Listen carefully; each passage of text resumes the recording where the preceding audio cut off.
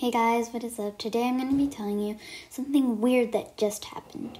Okay, let's get on with Okay, so I was sitting on my beanbag and then my dog just came up to me. She started barking at me for no reason at all, and I thought that was really weird. And then looked out the window behind me and there was nothing there, so like I was wondering what she was barking. So I was like, "Hey mom, do you know what um Pippa's barking at?"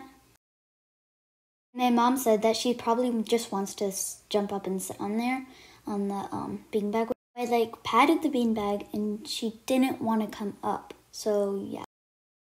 She started growling at me and I, and then I looked behind me again and there was literally nothing there.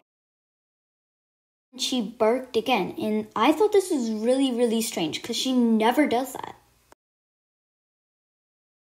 And I was watching YouTube at that time, and then I paused the video and I was like, hey, Pippa, do you want to come up here?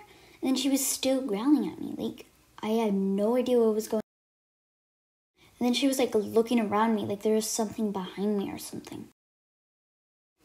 And then she just like looked behind, and I was like, she looked back, and then she looked out the window again, and then she started to growl. And now I was like kind of freaked out because I had no idea what she was doing. Was like, hey, Pippa, why are you growling? Of course, dogs cannot talk, so she didn't respond.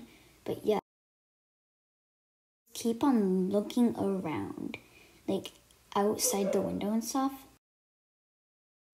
And so, like, I was kind of freaked out, but yeah, so yeah.